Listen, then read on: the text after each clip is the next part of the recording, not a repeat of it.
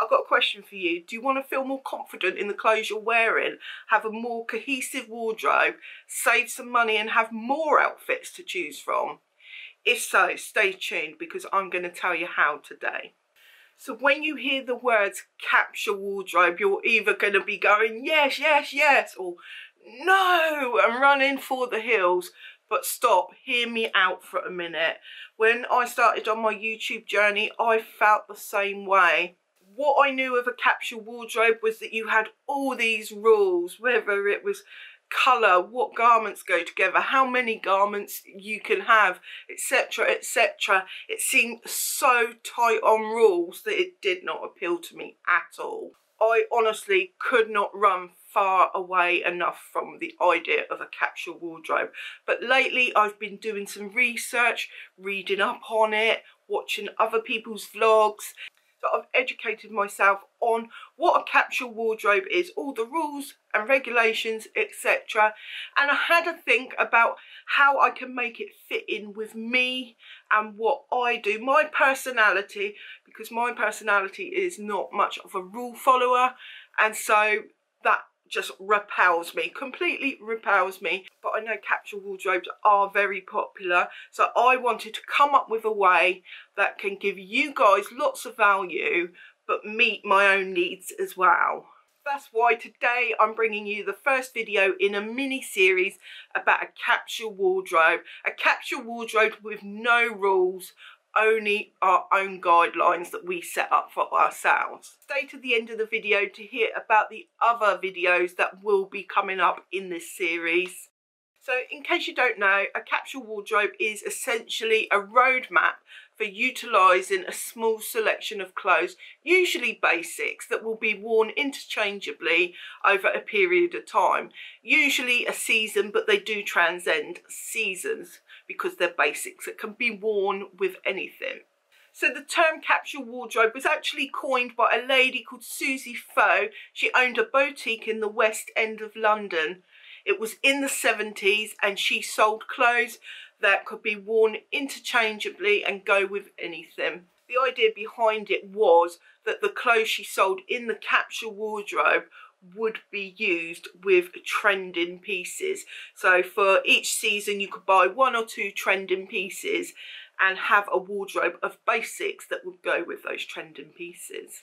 So the capsule wardrobe concept had a resurgence in the 80s. It was made more popular by a fashion designer called Donna Karan. And to be honest, it's never really died off since. It sort of goes up and down in how popular it is, but it doesn't actually ever die off. A quick Google search showed me 24 million results. So this is a really hugely popular concept. So most of those results pertain to buying clothes, getting out of the fast fashion rat race and improving the environment. They're really, really good things if you ask me. The idea is that by having good quality, cohesive basics that last over lots and lots of seasons, you are then buying less because you're only buying the trending pieces that you need. But how does that relate to us in the sewing world? Well, it does really relate actually, because although we're not generally buying lots of fast fashion, I know for myself, I make pretty much all of my clothes and I know a lot of you do too. So we're not really absorbed in the fast fashion, but we are in a way. I'm a prime example here with my fabric stash. Many of us have an addiction to buying fabric. We love it. It makes us feel good. Obviously we need it to sew, to have clothes but there's a fast fashion in buying fabrics as well. Because the fast fashion clothes that are produced in other countries they have to get their fabrics somewhere. And our fabrics come from the same places really. We might be making our own clothes but we're not necessarily reducing the impact on the environment I mean, when I started to sew, I was buying all the fabrics. I could not buy fabrics fast enough. And I bought high quality, I bought low quality, I bought medium quality. I bought all the quality and many of them have gone unused. I've touched on it on previous videos on my um, dumbest purchases video actually I touched on it but I bought loads and loads of quilting cottons you can see many of them there I will be doing a video related to that. I'll tell you about that in a little while. Different fabrics will have different impacts on the environment and generally speaking, the cheaper the fabric, the more impact it will have on the environment. But I've been in two minds about talking about this in the past because for myself, I was in a position where if I wanted to sew, I needed to buy cheap fabrics. Let's face it, we all love a bargain and I am no different and I would buy cheap fabrics but have lots of fabrics and that would be because wow because I love buying all the fabrics and I wanted to get a good deal. I thought I was doing something really good. Actually when I buy cheap fabrics and make the garment I'm making the garment for cheaper and then getting a deal on buying garments what I have learned over time is buy quality because cheap does not last. So I might make a garment out of something really cheap and it's not going to last five minutes. And by the time I bought loads and loads of cheap fabric and keep on the treadmill of making stuff, I may as well have bought the one quality piece of fabric and had it last. So in effect, by purchasing very cheap fabrics, I am taking part in fast fashion, even though I don't go to the big shops to buy my clothes. So actually, I think with that in mind, a capsule wardrobe will be a really good idea to help me reduce my carbon footprint, is that what they call it? And feel better in myself. If you need to buy cheap fabrics, no judgment at all. But for me, in the place I'm at now, I feel I will benefit from having more quality fabrics, buying less of them. You'll see when I, there's a video I'm going to do in a couple of videos time and you will see, you'll get to have a good look at my wardrobe and you will see that a lot of what I've got is not good quality at all. And I want that to change. So I like the idea of a capsule wardrobe for the following reasons. First and foremost, it's because I don't have any real sense of style. I know some of you very kindly leave these gorgeous comments saying that I've given you good inspiration for style, but I personally do not feel confident in my style my wardrobe is definitely not cohesive. I buy all the fabrics and all the patterns that I want on a whim and then none of it mixes and matches very well together. I've got a number of pieces that can be worn on their own but they don't go together. Like I've got a number of t-shirts but I don't wear them because I, I only wear leggings on the bottom and so they don't go. So looking back I'm like why did I make them? But I made them because that's what I wanted to make in the moment. Another reason I'm really interested in doing a capsule wardrobe is because I've always been interested in colour and how it can really enhance how we look. I've never really understood how it could help me. To be honest, I get a lot of my knowledge from you lovely guys who leave comments down below and say this colour suited you or, or I prefer this colour on you. And I get a lot of my knowledge that way because I look at it and I don't know what's going on. I get a vague idea, but I don't know. Problem is, while I'll get some people saying one set of colours works for me, I'll get another set of people saying the other works for me. So in the bigger picture, I don't really have any clearer idea.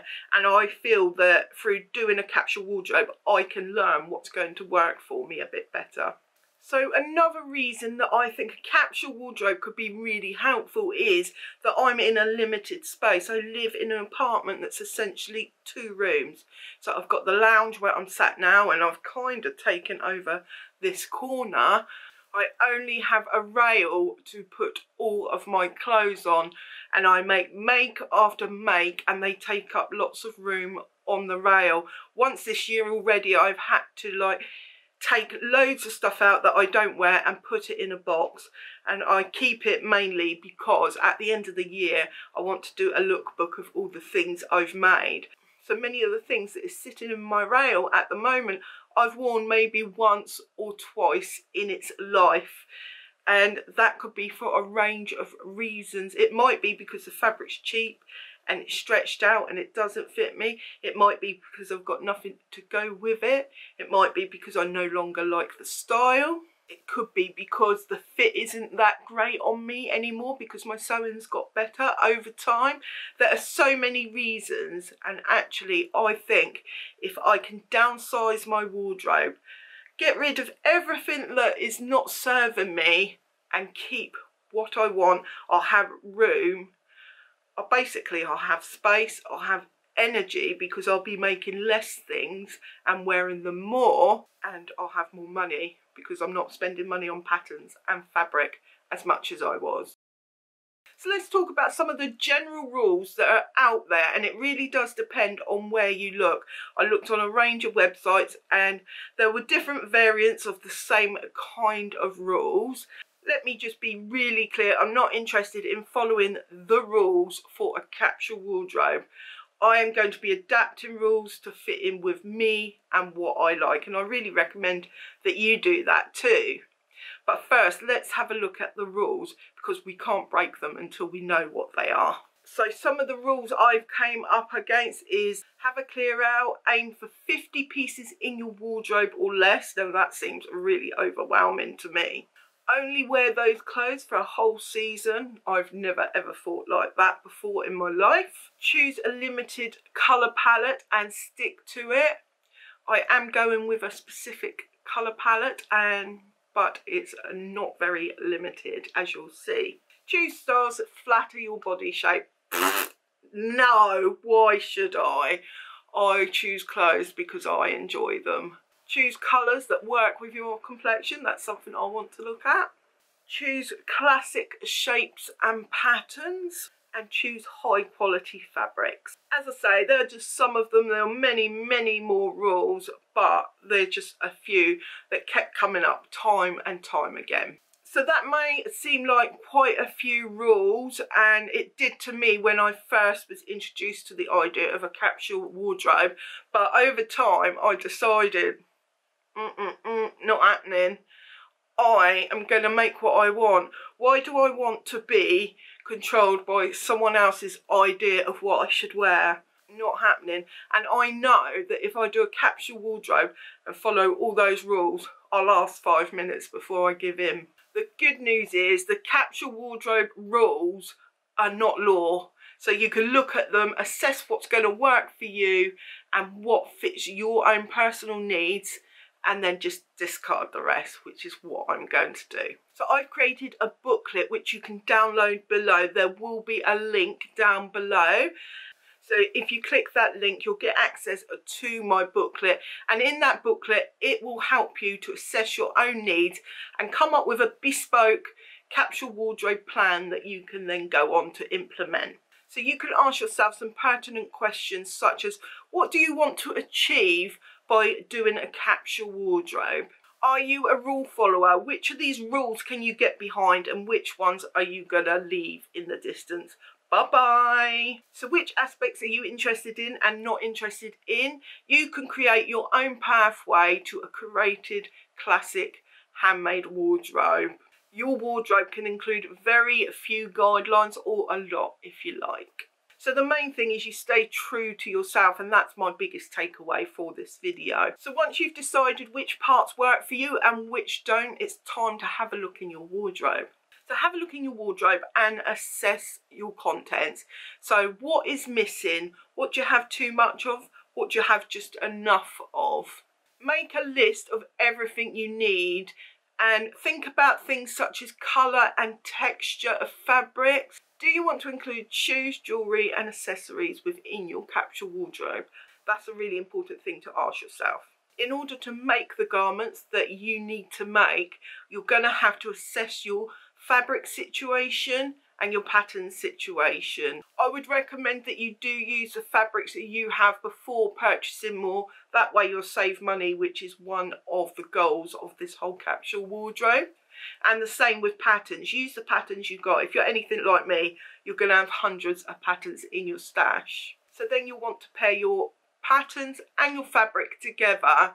But do that being mindful of the bigger picture. So not just whether that fabric goes with that pattern, but does that garment and the colours and the textures and everything else fit in with your wardrobe that you have or that you are creating. And actually, how often are you likely to wear these pieces is another thing that you should really be considering. For example, I'm largely housebound, so making an evening gown would not make any sense for me. So once you've done that, it's time to get making the garment. So enjoy that process, enjoy your final pieces.